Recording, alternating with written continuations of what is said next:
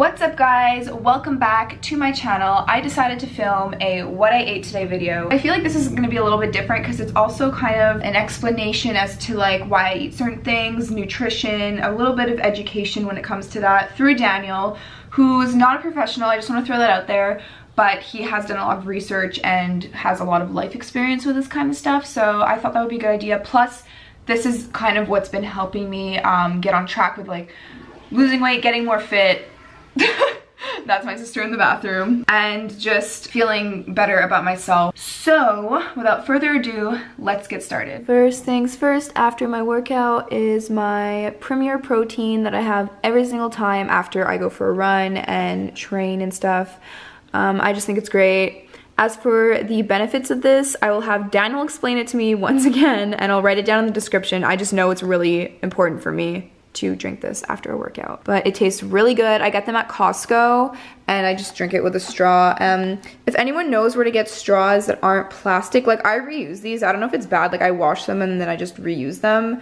But if I can get like metal straws or something, I I see those a lot on Pinterest and Tumblr and I think they're a lot better for the environment. But let me know in the comments down below where I can buy those. If you can like add a link, that would be awesome. But yeah, first things first, gotta get some protein in my body. Pretty flowers that are dying. so as for breakfast, these are all the ingredients that I'm gonna be using. So I'm making an avocado toast.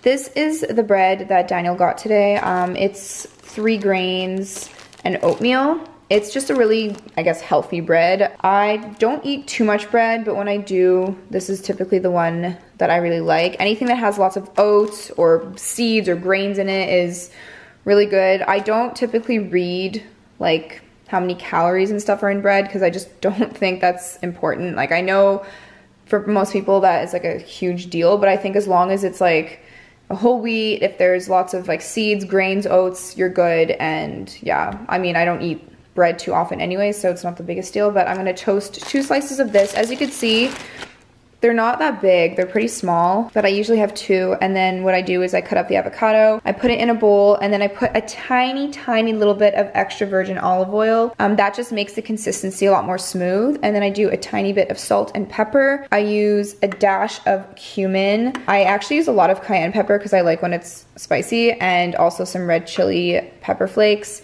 and some paprika and then that's basically what I do to make my avocado toast and it's so yummy. This is essentially what it looks like before I mix it all together. Basically the more colorful my food is, the more I like it. So that's kind of what my motto is. And as you can see here, that's like the only olive oil I put. It's the tiniest amount. Yummy. So here is the finished look. I know it's not like pretty or anything, it just tastes amazing and all the flavors put together make it like mouth watering. Then I'm gonna have a huge glass of water as well and enjoy this. So I just had Dan read the back and like explain why it's good because I don't know anything. Okay, so there's check marks that say only 75 calories per slice, which is good. Uh, are, like, is it good to look at that stuff?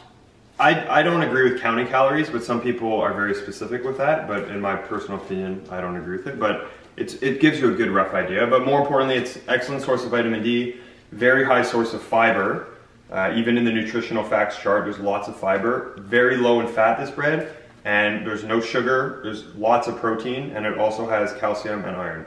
So, why is it good to have fiber? Fiber is just good for your digestion. It's really healthy. For like for poop?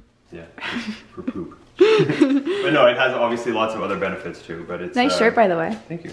And nice shorts. This is really good bread.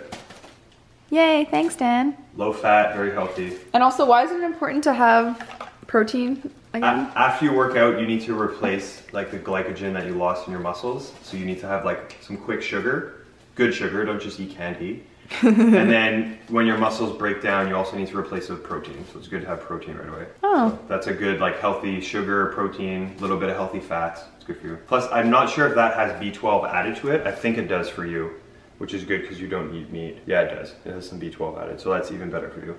Yeah, I gotta take my daily my multivitamin. You can look at all... I, I like never read these things. I probably should, huh? You can look at all the vitamins that are added to this thing. So it's, it's very healthy. It's almost like having a multivitamin pill. Oh, so should I not take my woman's Centrum thing? No, that's fine. I mean, you're not really gonna overdose on vitamins. If you do, you might have some like kidney damage, but it's really, oh. it's really hard. well, I don't want to do that. It's really hard to overdose on vitamins. You'd have to take like a bunch of multivitamins a day.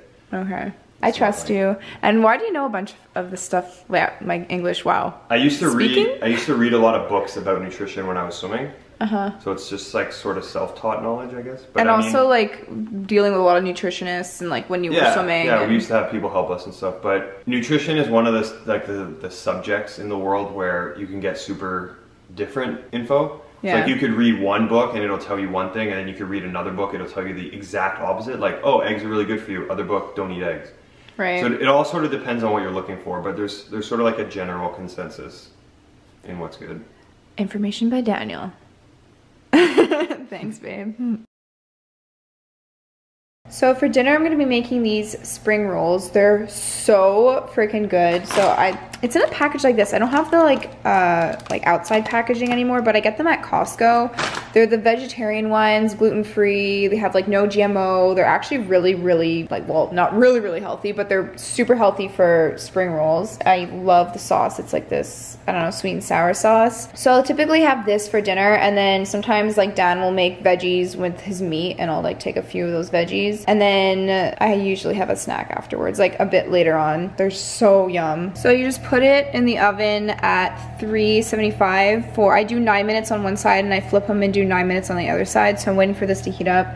Um, but I'm so hungry, so I think I might actually. I don't like to have a snack before dinner because sometimes it fills me, but usually, like, these mini hummuses are really good. So I'll have a few crackers with some hummus. We have these, like, sweet potato crackers that we get from Costco. They just have grains and stuff. They're really yummy. So it's pretty good for portion control because then you don't, like me, eat way too much hummus because that's definitely my issue. It's so good. Look how good they look. Just watching Happy Gilmore. Such a good movie. This is what it looks like on the inside. Cabbage, carrots, lots of veggies.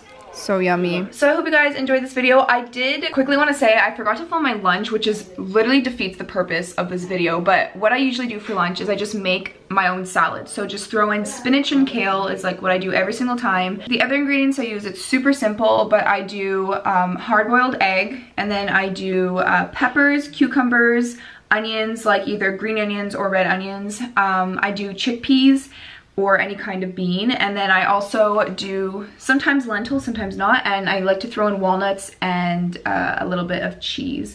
And then as for the dressing, either a light balsamic or a light honey mustard, something very simple and basic like that. That day I was running around a lot and I forgot to film it, which is so dumb. But if you guys really want to see a video kind of all about how I make my salads, because they're really, really good, let me know in the comments down below. And also, please no judgments on things that I eat. Everyone is different. Listen to your own body. If you want to eat more, eat more. You just have to listen to yourself based off how much exercise you're doing, how you're feeling. Again, I do everything to kind of extend my life as much as possible. I try to be healthy. I try to, you know, being eating healthy isn't just helping physically, it helps mentally as well. So it's a big reason why I'm a very big advocate for that. If you enjoyed this, give it a thumbs up. Let me know in the comments down below if you want to see more of these videos. I kind of want to make them more of like a regular thing, showing more ingredients, showing more um, cooking things because I love to cook and I think it would be really beneficial for you guys if you want to see that.